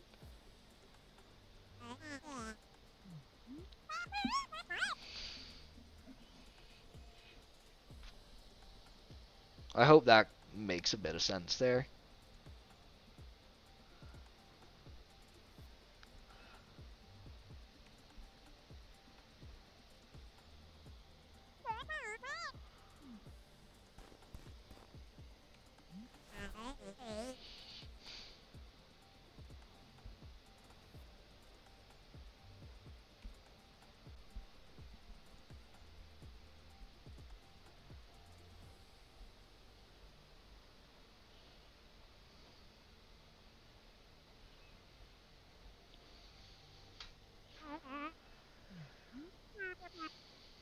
But it is like it's just a it's a really complicated issue because we haven't even talked about like the stuff around the um potential problems with like the source material the AI is basing off of stuff. I I'm not going to get into that because I just don't know enough about it uh just to say anything for sure. Like I'm just not is not my area of expertise and I haven't read into it like enough. But yeah, that's kind of like overall my take on AI art.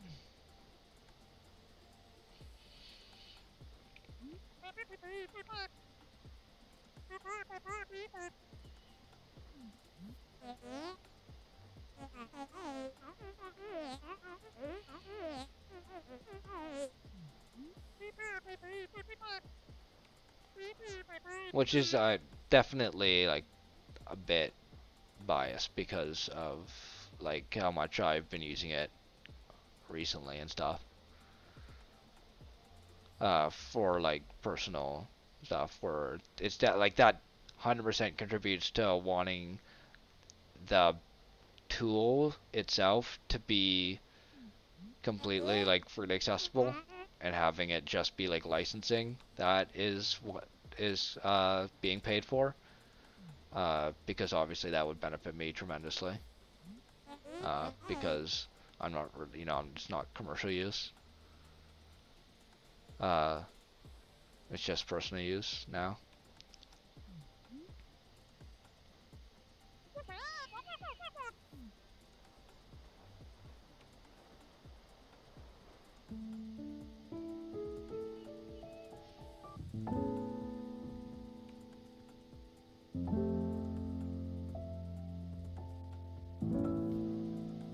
Alright, well we beat the game. Which is nice. This, I think, I, this is my second time uh, beating the game overall. Uh, always first on stream and stuff. Uh, there is an epilogue and stuff still, I think. Uh, but I it is uh, hit the two hour mark, uh, and I think I am going to end it around here. Uh, I will be streaming tomorrow at 5 again. Uh, not still not 100% sure I'm going to be streaming. I probably Final Fantasy 14 or more Hollow Knight. Uh, yeah, like one hour for Move the Pauses. Yeah. Probably. Uh, yeah, so gonna be streaming tomorrow 5 p.m. Uh, as for next week, uh, I'm not sure when I'm gonna be. I'm gonna be streaming Tuesday next week uh, at 5 p.m. Uh, but I I know I can't stream Friday at 5 p.m.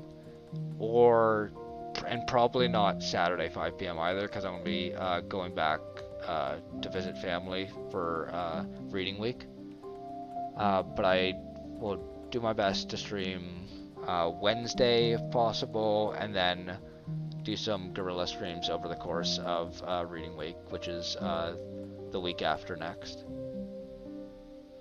Uh, I'm prob I'm also considering swapping like the specific time slot I do, just because I know a lot of people have been streaming it and FlaVR and stuff have been streaming at five, and I don't wanna um like stream over them and stuff, because I can be fairly flexible, because being university and stuff, I don't have like a job that's like until five from like you know like I don't have like a nine to five, uh, so I can stream earlier in the day and I like just between classes and stuff. Uh, so it makes more sense for like me to be flexible in comparison to like others if I don't want to like schedule over them and stuff. Uh, hope that makes sense and you were able to, you guys were able to understand something from that ramble. But uh, I'm, the only stream I can confirm for next week is going to be Tuesday, uh, but I'll do my best to stream uh, additional times that week. But I, I just can't promise anything for certain. Uh, and I'll also be streaming tomorrow at 5. Alright, uh, I'm going to end it now. Uh, FlaVR have a deal with Flavor Flav. If not, you consider approaching him. Uh, not really, uh, to my knowledge, but I don't have full knowledge of the whole thing. Uh, also, thanks for showing up, uh, Charlie, for the last bit. Uh, nice seeing you. Uh, have you considered approaching him? Not to my knowledge, but I can ask around and see. Uh, yeah. I'm gonna end it here. Uh, thank you so much. I'll see if anyone else is streaming first. Just so I can like send y'all in the direction.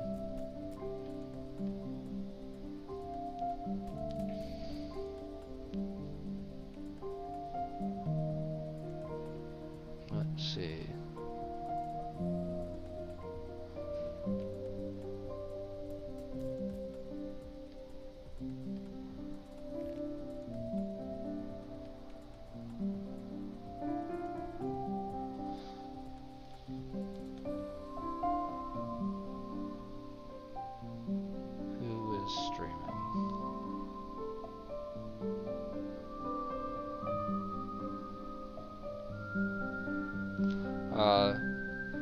Dr. Lolime is streaming Fallout New Vegas right now. Uh, Minta is streaming. Uh, that's tomorrow. Uh, I think that's the only uh, waiting room up at the moment. Uh, for today, it looks like. Yeah, but I'm there. There might be more uh, later that I'm just not aware of today. So uh, just keep an eye out on Twitter and stuff. Uh, thank you all for coming. Hope you have great uh, days and great weekends stuff. And I hope to see you next time. Uh, bye.